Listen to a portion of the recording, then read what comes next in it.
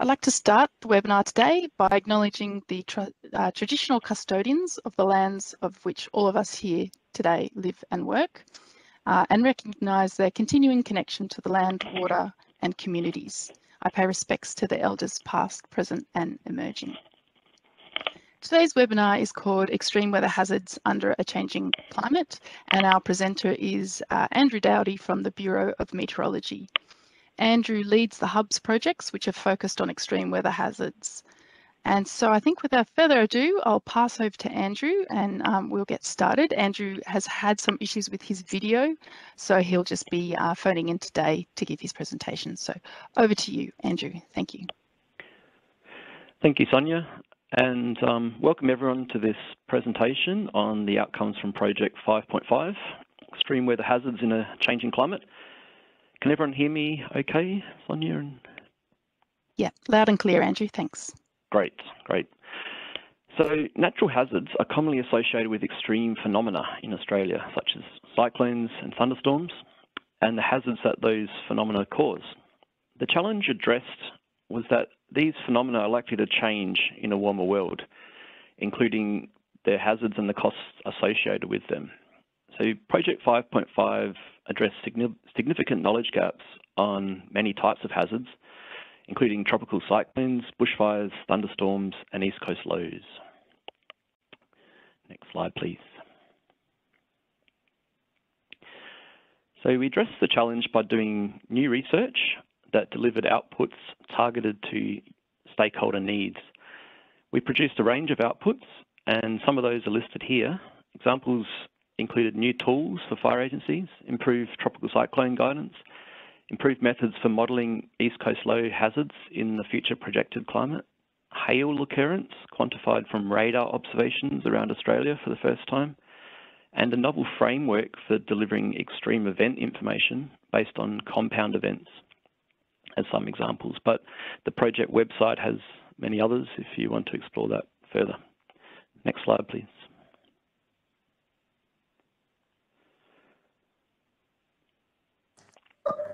All good, Andrew. Thanks. Thanks. Um, the project covered the Bureau of Meteorology and CSIRO, as well as four unis, with a focus on extremes and disaster risk reduction. And there were many people involved over the years, as listed here, as, many, as well as many other collaborators and co-contributors. And there's some links there for more details on various papers and things, outputs provided from the whole team. Next slide, please. So some of the highlights from the project will be covered in this presentation and some are listed here, centered around the delivery and uptake of project outputs and how these have been used by our stakeholders for their applications.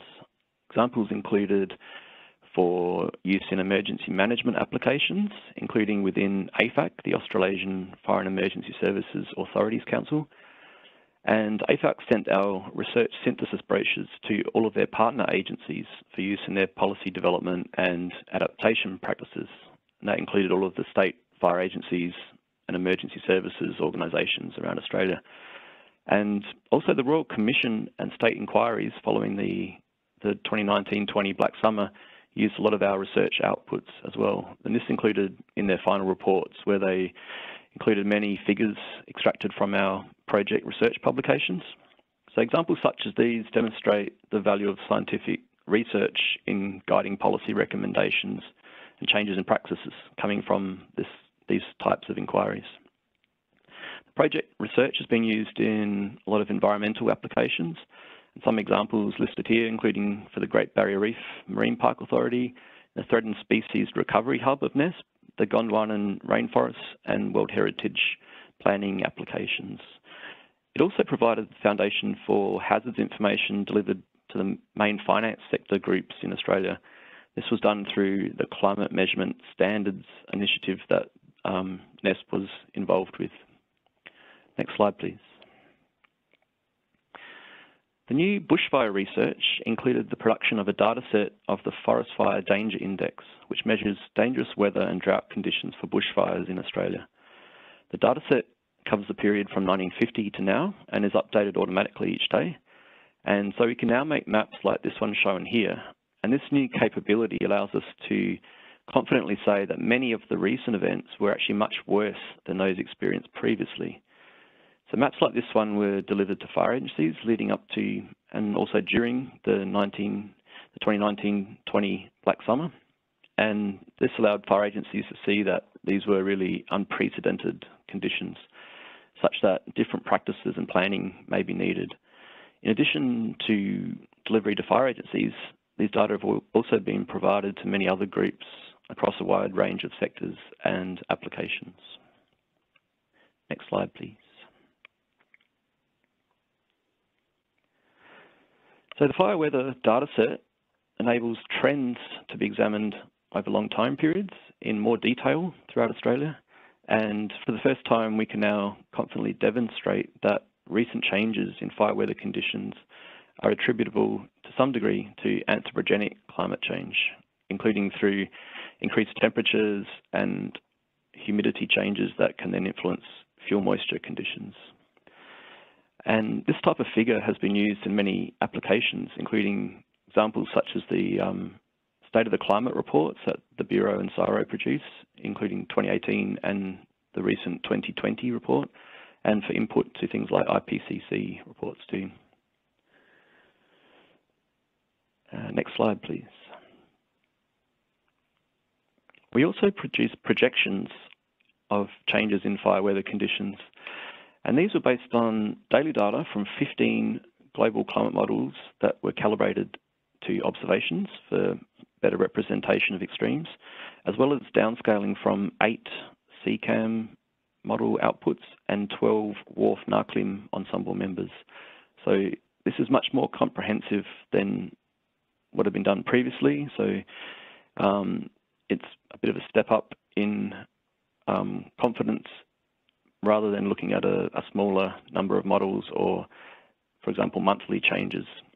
Um, so having these calibrated daily data from lots of different modeling methods, so an ensemble of ensembles, that allows us to try to sample as much of the uncertainty space as we currently can.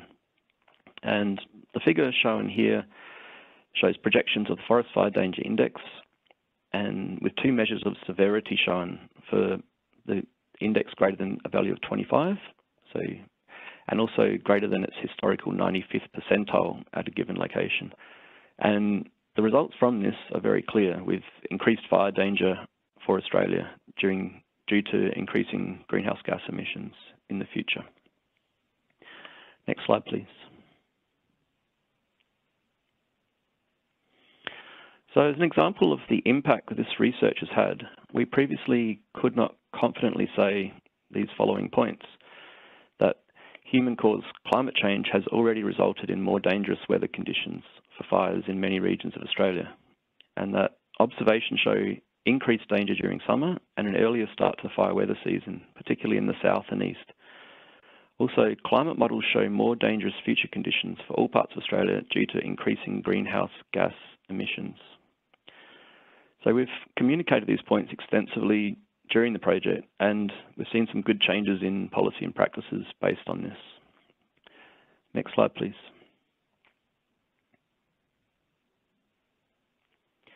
The project communication products have enabled outcomes in a number of sectors, including for the emergency management sector. So project research and synthesis products form the scientific foundation of AFAC's discussion paper on climate hazards, AFAC's the Australasian Fire and Emergency Services Authorities Council.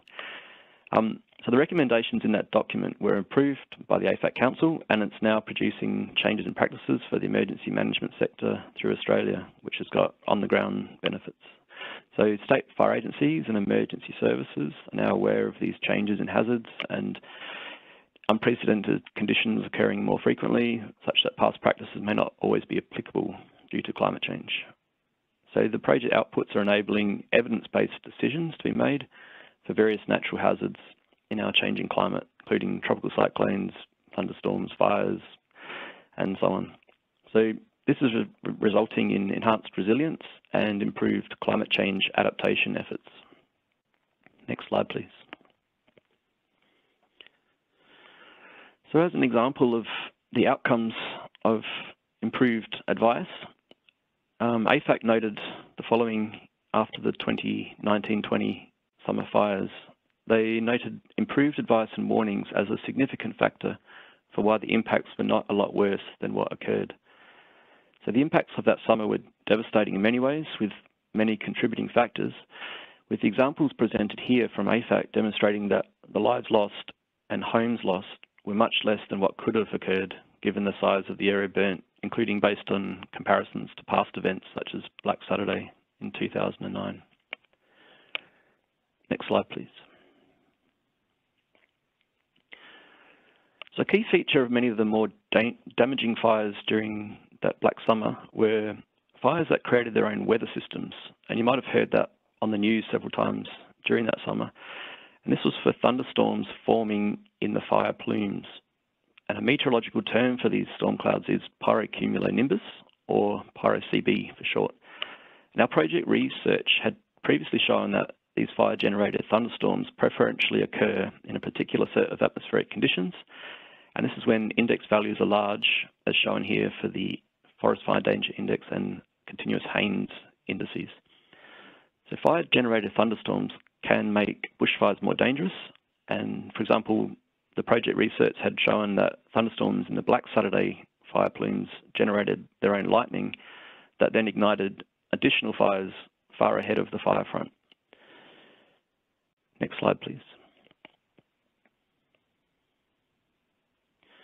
So our project research showed that in recent decades, we've seen an increased number of high-risk days for fire-generated thunderstorms, particularly in southern and southeastern Australia. And we published several papers which found these trends are likely to continue increasing into the future based on model projections, and this is due to increasing greenhouse gas concentrations. Next slide, please.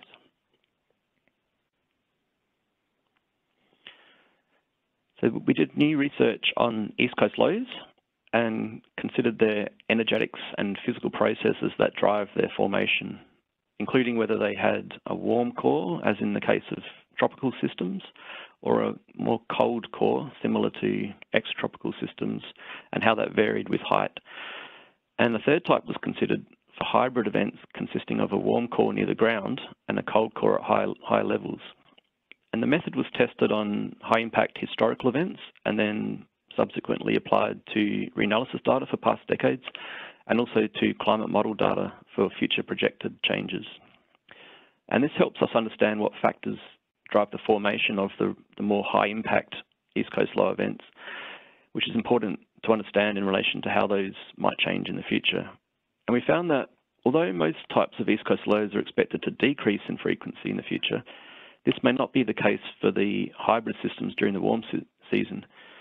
And those type of events similar to that have actually caused quite significant impacts. And one example is the Sydney to Hobart yacht race in 1998 when many boats sank and six sailors tragically died.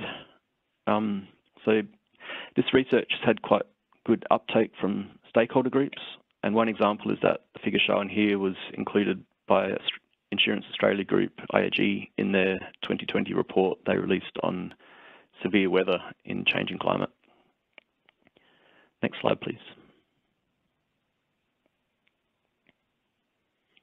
The project's um, East Coast Low research on different levels found that the deeper cyclones have the strongest wind speeds and more intense rainfall in some cases. And shown here is an example of our findings, with the strongest winds caused by cyclones that are well defined over a deep range of levels through the atmosphere. And similarly for rainfall intensity, um, so this is relevant for flood risk as well as water availability planning for this heavily populated region of eastern Australia. And this is an important development, including from a global research perspective, because previous research typically focused on examining these types of cyclones only for a single level of the atmosphere, whereas this highlights the benefit in considering the depth and multiple levels. Next slide, please. The project produced a summary of climate guidance for hazards caused by East Coast lows, including details on future changes as some of the examples shown here, including East Coast low occurrence, the uh, rainfall and flooding related with them, waves, coastal hazards that can exacerbate East Coast low effects, such as sea level rising, and then uncertainties around intensity and duration and um, other aspects of East Coast lows, such as wind direction and how that can influence erosion. There's uncertainties also noted for these where um, that's the case. So for more details, there's a reference there to the review paper. Um, next slide, please.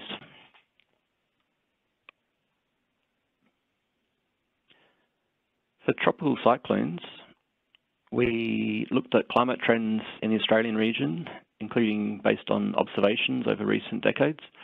This shows the downward trend in tropical cyclone numbers, um, including for different intensity systems and things like the number that have made landfall. And for further details, there's the reference there for Chand et al. 2019 for the review paper that looks at that. Next slide, please.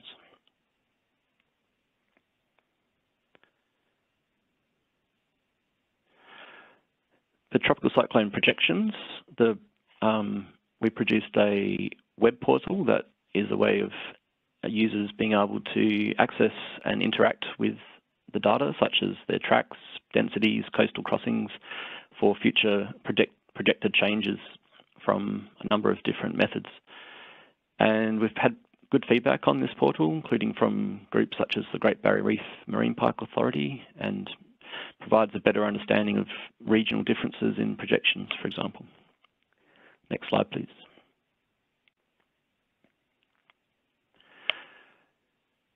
So we produced a lot of synthesis material on different hazards, and this example here is what we delivered for NESP to finance sector groups through the Climate Measurement Standards Initiative, and it covers um, various information on TCs that they were asking for, including um, noting fewer TCs but more intense on average, sea level rise exacerbating their impacts, more intense rainfall extremes, and then noting low confidence in some aspects of intensity and regionality, such as whether they'll shift further south, for example.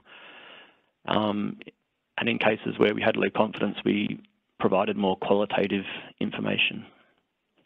Next slide, please. Similarly, we provided synthesis guidance on a wide, wide range of other hazards and examples shown here for extreme rain, flood and hail. So examples from this included more intense rainfall, so that's observed increases in intensity for hourly rainfall and thunderstorm related rainfall. And that's similar to what we have found from model results and process understanding. Also noted increased risk factors for extreme floods, with more confidence for the coastal and flash floods, but then low confidence for other types of floods. And a potential increase in hail frequency seemed more likely than decrease, but noting large uncertainties around this. Next slide, please.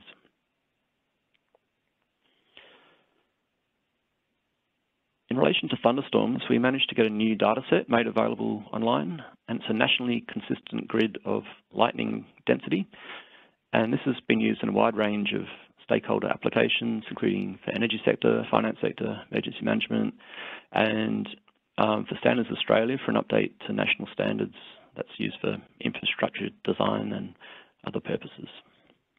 Next slide, please. We produced new products, data products for hail, and this hail analysis was based on radar data shown here for regions around Australia. And this has been used for various applications, including in the finance sector, with hail damage being responsible for many of the most costly hazard events that they have had previously. We've documented the average risk of hail occurrence around Australia for the first time at many locations based on observations over many years from this Bureau of Meteorology's radar network. And we compared results with lightning observations, found some differences, which was interesting, including bit of an earlier peak in the year for hail events than lightning, and looking at environmental conditions from reanalysis to try to understand the, the, um, the frequencies of occurrence of hail and lightning. It appears that um, hail has got stronger wind shear and somewhat lower freezing levels as compared with lightning. Um, that's using the hourly data from the Bureau's BARRA reanalysis product. And these results have been delivered to severe weather forecasters in the Bureau, which will also help them with their guidance in their operational forecasts of severe thunderstorms and the hazards they can cause. Next slide, please.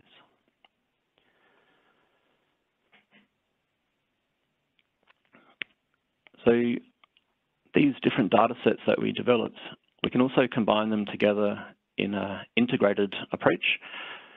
And then what we've done here is combine thunderstorms, fronts, and cyclone data into a compound storm type.